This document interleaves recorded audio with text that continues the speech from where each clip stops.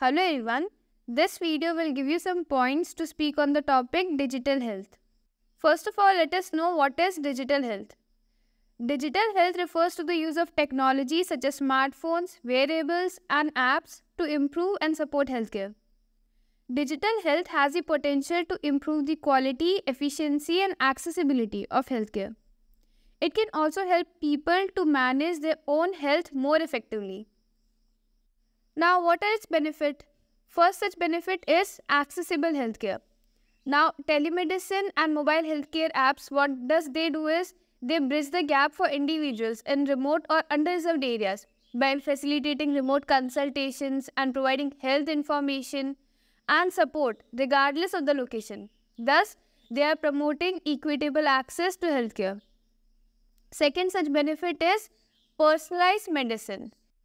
Patient portals and wearable devices empower patients by granting access to medical information and personal health data, enabling them to make informed decisions. While active participation in healthcare through tracking and managing health parameters promote patient engagement. Third benefit is effective disease prevention. Digital health technologies contribute to disease prevention in several ways. They enable early detection through continuous monitoring and encourage healthier lifestyle by tracking activities. Next benefit is improved healthcare coordination and communication. Digital health tools can help healthcare providers communicate with each other more effectively and share patient information more easily. This can lead to improved healthcare outcomes by reducing error, improving care coordination, and facilitating time decision making. Now let us know what are the challenges of digital health. First is digital literacy. Not all patient and healthcare providers are familiar with digital health technologies. Like my grandfather, there is a big generation gap between my grandfather and me. So, because of this, he is unable to use these technologies effectively. So, digital literacy is a big challenge. Next is acceptance by patient and providers. Some patients and healthcare providers may be reluctant to adopt digital health technologies. This may be due to concerns about security, privacy, or usability. Next is data privacy and security. It is a major challenge in digital health as more and more health data is stored and transmitted electronically. It becomes increasingly vulnerable to security breaches. Next is digital divide. Despite the benefits of telemedicine and mobile health apps in bridging the gap in remote or underserved areas, the digital divide remains a significant challenge. Disparities in technology access and digital literacy, particularly in rural or low income areas, create inequalities in the adoption and utilization of digital health tools, hindering equal access to care. Now, let us discuss some of the achievements of India in digital health. First such achievement is Ayushman Bharat Digital Mission. The Ayushman Bharat Digital Mission is a national mission launched in 2020 to transform India's healthcare system through digitalization.